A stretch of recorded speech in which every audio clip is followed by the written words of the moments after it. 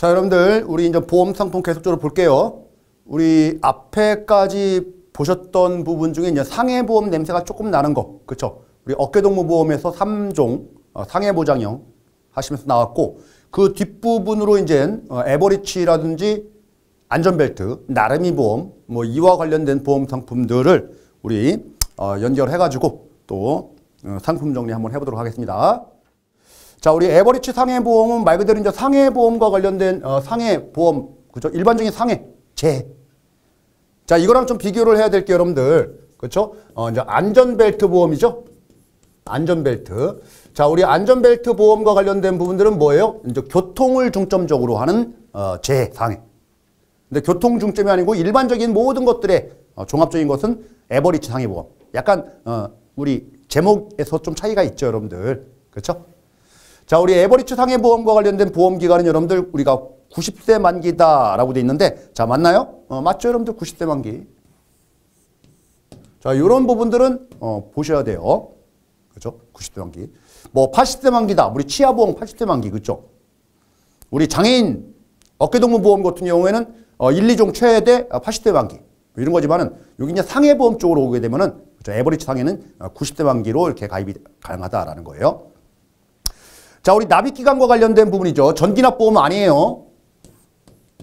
에버리지 상해보험은 여러분들 어, 에버리지 상해보험과 관련된 부분들은 뭐 10년 납 그리고 20년 그리고 뭐 30년 납 뭐 이런 것들이 있습니다. 우리 전기납 보험과 관련된 부분들은 뭐냐면 여러분들 20년짜리 보험에 해당되는 그죠? 아, 안전벨트 보험이에요. 안전벨트 보험과 관련된 부분들은 어, 우리가 어, 전기납 보험이에요. 자, 이런 거랑 좀 비교를 하셔야 돼요. 그러니까 안전벨트 보험, 그냥 상해보험, 에버리지 상해보험 단독으로 보지 마시고 항상 비교를 좀 하시면서 이렇게 정리하시면 훨씬 더 기억이 오래 가고 그렇죠?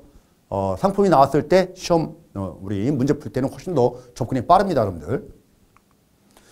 자, 우리 건강관리자금이 지급되지 않으면 만기보험금이 있는 상품이다. 라고 되어 있는데, 이제 맞나요? 어, 맞죠, 여러분들? 그래서 여러분들, 우리가 이제 어깨동무보험 하면서, 자, 1종과 2종과 3종, 어, 상해보장형 하면서, 이 상해보장형은 어, 건강관리자금이 있고, 어, 만기 환급금이 없는 상품. 이거에 비해서 1, 2종은 여러분들, 건강관리자금이 없고, 만기보험금이 있다. 자, 여러분, 어깨동무 봤으니까, 그 다음 뭐예요? 에버리치 상해보험. 에버리치 상해보험. 자, 이 부분에 대해서는 뭐예요? 이쪽으로 가면은 그렇죠? 건강관리자금이 없고 어, 만기보험금이 있다. 골절 진단 비만 보장한다. 골절 진단 비만 보장한다. 골골. 깁스는 없다. 자, 요거랑 또 비교를 하면서 그렇죠? 이제 안전벨트 보험하고 또 비교를 하는 거죠. 안전벨트 보험. 안전벨트 보험 이렇게 비교를 하면서 우리는 공부를 했습니다. 일단 여기까지 이렇게 음, 정리가 되는 거예요. 그래서 이제 맞는 설명이다라는 거예요. 자, 우리 어, 골절 진단비와 깁스 보장한다 아니, 아니죠. 일단 골만 가는 거죠. 자, 이제 안전벨트 보험 가겠습니다, 여러분들. 자, 우리 안전벨트 보험과 관련된 부분들은 저 보험 기간이 80세 만기다라고 돼 있는데 우리 에버리츠 상해 보험은 90대 만기까지 되지만 안전벨트 보험은 어 20년 보장이다. 20년. 20년 전기납 상품이다. 안전벨트 보험은. 자, 우리 차이점들 보면서 우리 상해보험 쪽은 이런 식으로 여러분들 큰 틀을 좀 정리를 하셔야 돼요. 자, 우리 건강관리자금 모두 없다. 이건 맞나요? 어, 맞죠, 여러분들?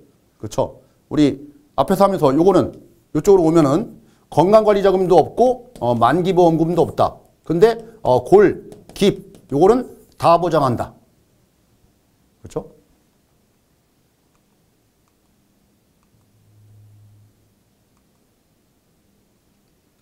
자, 우리 골절 깁스에 대한 보장이 없다. 이런 말 나와요. 안전벨트 보험. 그렇죠? 안전벨트 보험과 관련된 부분들을 골절, 깁스 모두 다 보장합니다. 음, 틀린 지문 금방 확인할 수가 있죠, 여러분들. 자, 우리 보험 가입 나이 안전벨트는 여러분들 운전 그렇죠? 운전 뭐 이런 거와 관련된 뭐 이런 거고 운전하면서도 우리 다칠 수도 있고 아니면 비운전 내가 운전을 안 한 경우에도 내가 어, 치면서 교통사고로 당할 수도 있는 거잖아요. 그렇죠? 어쨌든 상해보험 쪽이에요. 상해보험은 여러분들 몇 세까지 되나요? 70세까지죠. 일반적으로. 질병은 65세 일반적으로. 그렇죠? 그래서 사망보장도 있기 때문에 만 15세부터 70세까지다 이래야지 맞겠죠. 자 다음 여러분들 우리가 나름, 나름이 보험 나름이 보험은 여러분들 어, 반은 어, 공익재원에서 어, 주고 나머지 반은 그렇죠 이렇게 배달하시는 분들이 어, 납입하는 거죠. 자 우리 운전과 관련된 부분이니까 여러분들 운전면허증이 있어야 되니까 이거 만 어, 19세부터 어, 가입이 되는 그런 상품인 거죠. 그리고 공익재원의 50%를 지원해 주는 거예요. 어, 공익재원의 100% 지원해 주는 그런 상품하고는 다릅니다. 그렇죠? 어. 자, 100% 지원해 주는 건 뭐예요? 어, 엄마 보험 뭐 이런 것들이죠. 나름의 안전보험은 여러분들 나이와 성별에 상관없이 일회보험료 납입으로 보장이 가능하다라고 돼 있는데 자 우리 나이에는 상관없지만 성별에 따라서는 차이가 있죠 여러분들. 남성이나 여성이나에 따라서 운전 그런 거에는 좀 차이가 있어요. 그죠? 음, 이런 부분 좀 잘못됐다라는 거죠. 상관이 있다. 나이랑은 상관없지만 은 성별하고는 차이가 있다. 자 우리 공익재원으로 보험료 전액을 납, 납입해 주나요? 아니죠 여러분들. 어, 50% 자, 이런 부분들은 어, 중요한 문제로 기출된 적도 있잖아요. 기출 문제로 여러분들. 50% 지원해 준다 해서 맞는 문장으로. 그렇죠? 뭐 이런 것들 좀 차이점 부분들 좀 체크하시면 됩니다, 여러분들. 자, 나름이 안전보험과 관련해서 일반형, 우리 이제 자동차 운전하시는 분들 아니면은 오토바이 운전하시는 분들 이렇게 각각 따로따로 가입하는 거지 중복 가입 안 되죠. 중복 가입이 불가능하다. 어, 맞네요, 여러분들. 어, 맞다라는 거죠. 자, 우리 보험 가입 나이와 관련된 부분들 어, 좀 전에 말씀드렸죠? 운전면허증이 있어야 되는 거잖아요. 그러니까 만 15세가 아니라 만 19세부터 70세까지 자 이렇게 어, 가입이 된다라는 거예요. 만 19세부터. 자, 이렇게 정리하시면 됩니다. 자, 중요도가 그렇게 높은 파트가 아닙니다, 여러분들. 근데 시험 문제에서는 단독 문제로 출제되기보다는 이렇게 지문 구성으로 이렇게 나오는 것들이 우리 OX 문제 어, 대다수 이렇게 포함되어 있습니다, 여러분들. 그렇죠? 자, 요 정도 어, 보시면 된다라는 거예요. 자, 다음 여러분들 우리가 단체 보장 보험과 관련돼서는 이것도 이제 개정됐죠. 2401로. 자, 2401. 자, 이렇게 좀 수정을 좀 해 주시기 바라고요. 2401. 자, 우리 2401이기 때문에 여러분들 2301에서 2401로만 바꾸면 돼요. 그리고 시험 문제 뭐 출제될 가능성은 그렇게 높지가 않습니다. 자, 일단 여러분들 여러분들이 이제 우체국에 입사하시게 되면은 어 이거 우체국에서 들어주는 단체 실손 특약이 결부된 그런 보험이다. 그래서 주계약에서는 여러분들 보장을 해주는데 우리가 뭐 질병 사망 어 최대 1억까지 특약 포함해가고 그리고 재해 사망은 최대 2억까지 이렇게 보장해 주지만은 산하기관은 여러분들 4천만 원까지밖에 보장을 안 해줘요. 어, 우리가 우체국 공무원들은 어, 1억, 재해는 얼마까지? 요 재해 사망은 2억까지. 1억이 아니라 2억까지. 질병 사망은 1억까지. 이렇게 음, 들어주는 거예요. 자 그리고 어, 우리가 2402라고 했죠. 어, 보험 가입 나이는 만 15세 이상이면 보험 기간은 1년짜리예요. 1년짜리. 그래서 여러분들 어, 기존의 상품이 2301이었다고 하면은 어, 2401로 이렇게 바뀐 거죠. 그리고 또 뭐 개정 사항이 있다면 2501이 또 나올 수도 있습니다, 여러분들. 1년짜리 상품이다. 자, 우리 어, 다 2401로 여러분들 바꾸시기 바랍니다. 요것만 바뀌었다. 그리고 하나의 특약이 추가된 거 이외에는 없습니다, 여러분들. 그 단체 실손 우리가 보장 특약, 어, 중지 특약, 그죠? 어, 그거 정도 들어간 게 있는데 그게 뭐 시험 문제에서 이렇게 관건이 될 만한 내용은 아닙니다.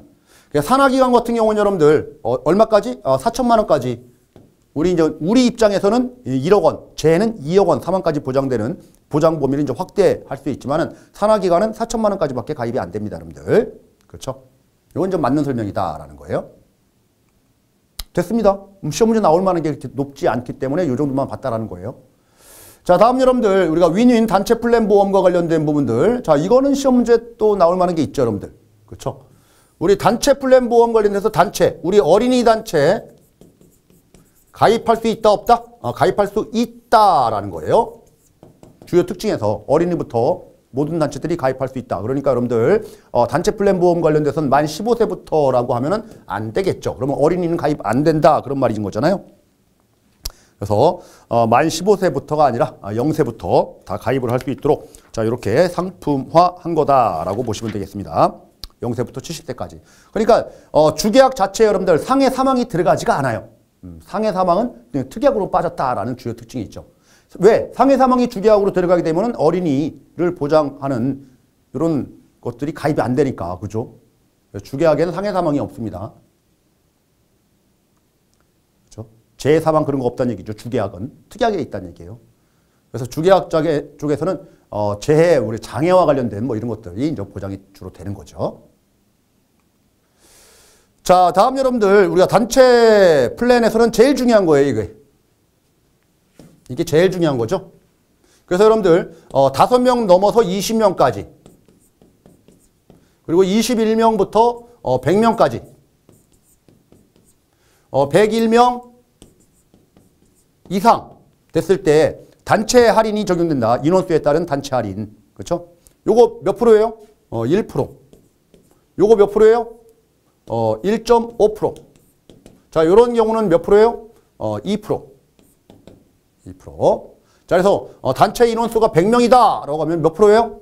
뭐 1.5%죠. 요 사이에. 특약보험료 제외라고 되어 있습니다. 제외입니까? 아니죠. 특약보험료까지 포함. 이게 특약보험료가 들어가는 것들이 바로 이런 상품이죠. 그렇죠? 어, 위닌 보험과 관련된 부분들. 1.5%가 틀렸다는 얘기가 아니라 이 제외라는 말이 틀렸다는 얘기예요. 포함이어야 된다. 그래서 특약보험료 제외된다. 주계약보험료만 적용된다. 이런 것들은 고액 할인 아니면 저해지 환급형 50% 환급형 자 이런 경우에는 주계약만 해당되는 거고 특약까지 다 포함된다라는 게 바로 이거죠. 이거. 어, 위닌 단체 플랜 보험의 피보험자 인원수에 따른 보험료 할인 적용. 자, 이 부분이에요. 그래서 이 부분 가장 중요하고 어, 올해도 시험 문제 출제 음, 예상되는 문제다. 예상되는 문제다. 자, 우리 단체 보험과 관련된 부분에서 여러분들 가입하는데 단체 화상이라든지 화상 치료라든지 아니면은 어, 식중독 치료와 관련된 부분에 특약들을 가입할 수 있는데 자, 이런 거 가입할 수 있는 나이는 어, 0세부터 70세까지다라고 돼 있는데 어쨌든 단체 보험에서 그렇죠? 어, 단체 윈인 단체 플랜 보험은 0세부터 70세까지 가입할 수 있어요. 자, 그러니까 이것도 다 가입할 수 있느냐? 아니에요, 여러분들. 자, 우리 특히 두 가지 다 보실 필요는 없지만은 여러분들 어쨌든 어, 화상, 어, 아이들 화상 당하면 참 치명적이잖아요. 그리고 꼭 어른들보다는 아이들이 식중독에 많이 걸려요. 그래서 이 화상이라든지 식중독과 관련된 부분들은 주로 어, 어린이들, 아이들, 자, 요런 쪽에 많이 집중적으로 보장들을 많이 합니다. 일반적으로. 자, 그러다 보니까 자, 요런 특약과 관련된 부분들은 가입 나이는 여러분들 0세부터 어리 10세까지로 이렇게 어, 단체 윈윈 그죠? 윈윈 단체 플랜 보험에서는 이렇게 어, 제한을 두고 있다라는 거. 자, 요 부분이 어, 중요한 어, 포인트가 되는 점이다라는 거예요. 어, 단체 어, 플랜 보험. 그래서 단체 플랜 보험과 관련된 부분들은 내용이 이렇게 거창하지가 않아요. 거창하지가 않다. 그래서 요 부분 2번 지문이 가장 중요하다. 나오게 되면 이게 나올 가능성이 상당히 높다. 이렇게 어, 보고 접근하시면 되겠습니다. 아셨죠? 그래서 어, 뒤쪽이 바로 이제 실손보험 그리고 더 나가면은 우리가 개정되는 상품들 그런 것들을 좀 추가적으로 여러분들 어, 다음 시간 하면서 이렇게 좀 정리를 좀 해 나갈 테니까 자 여기까지 하고 음, 잠깐 또 치겠습니다. 짧게 쉬겠습니다.